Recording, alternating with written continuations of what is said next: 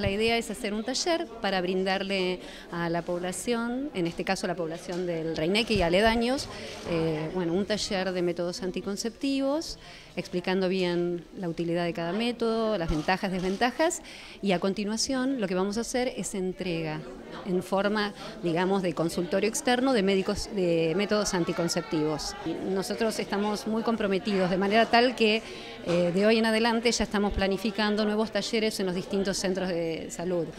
Es importante que el vecino conozca que independientemente de estos talleres, en todos los centros de salud eh, tenemos profesionales, obstétricas y médicos generalistas que pueden brindarles consejería, o sea, un espacio de decisión informada a los vecinos y eh, eh, digamos, entregarle algunos métodos en el mismo CAP o si no, direccionarlos hacia el Hospital San Cayetano, donde tenemos la totalidad de los métodos. Está bueno porque a veces las chicas no saben qué métodos usar y cómo usarlos y